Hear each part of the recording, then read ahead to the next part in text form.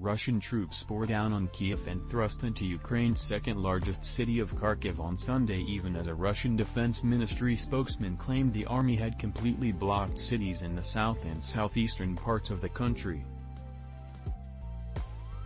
As the fighting entered its fourth day, video emerged on social media depicting fierce combat and Ukrainian soldiers firing rockets on the streets of Kharkiv. There were also reports that Russian missiles struck a gas pipeline. The Russian enemy's light vehicles have broken into Kharkiv, including the city center, Regional Governor Oleh Syniehubov said in a Facebook post.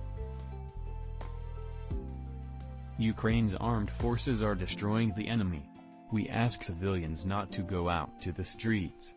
Kharkiv is about 24 miles from Ukraine's northern frontier with Russia, making it an essential target for an incursion.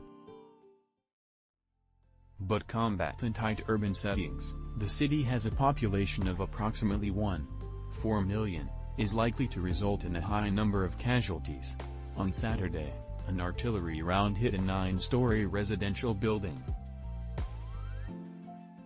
One person was killed and 80 were rescued. As of Saturday afternoon local time, there were 240 civilian casualties, including 64 dead, according to the UN Office for the Coordination of Humanitarian Affairs. The violence has also forced an exodus of some 368,000 people to neighboring European countries, the U.S. Refugee Agency said on Sunday, more than double the figure mentioned earlier in the weekend. Governments estimate the war could lead to as many as 5 million refugees.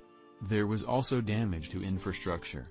Outside Kiev, Russian bombardment hit an oil depot in the town of Vasilkiv, some 20 miles to the southwest.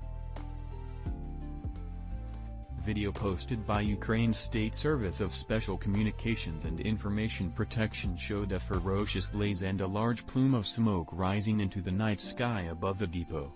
The enemy wants to destroy everything, Vasilkiv Mayor Natalia Balasinovich said in a Facebook post.